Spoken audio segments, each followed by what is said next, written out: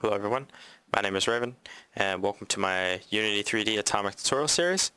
In this particular tutorial we are going to take a look at printing debug info into our console. Now this is a very useful command for uh, debugging your scripts like you know say you have an input script and you're trying to figure out if the input's actually working properly.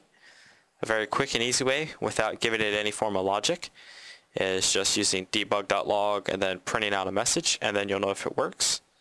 And then you can go on ahead and put in your logic. As well, it can also be useful for finding errors. Alright, so this particular tutorial will be using JavaScript and there will be a C-sharp version of this.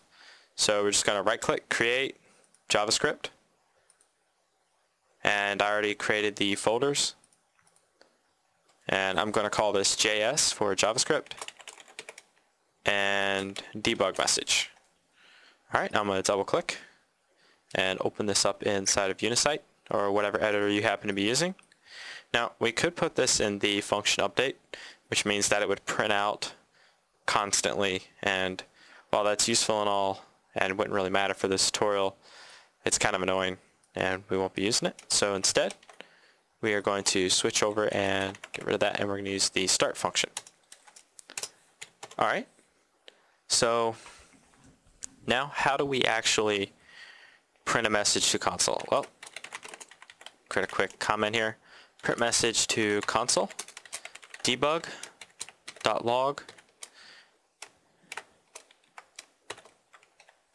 Alright, so this right here is the setup for the debug.log and its parameters and it accepts a string so I'm going to call this hello world and then I'm going to save it and then tab back over to Unity. And you can see down here it's compiling. And I'm just going to attach this to our camera since it really doesn't matter what script it's attached to. And I'm just going to press play. And down here at the bottom you can see it says hello world. And in our console it says hello world. Alright so that concludes this tutorial. If you have any questions, stop by the forum or the IRC. Both are in the description. As well, if you'd like, go ahead and follow me on Twitter and keep up to date with what new tutorials are coming out and when they're being uploaded.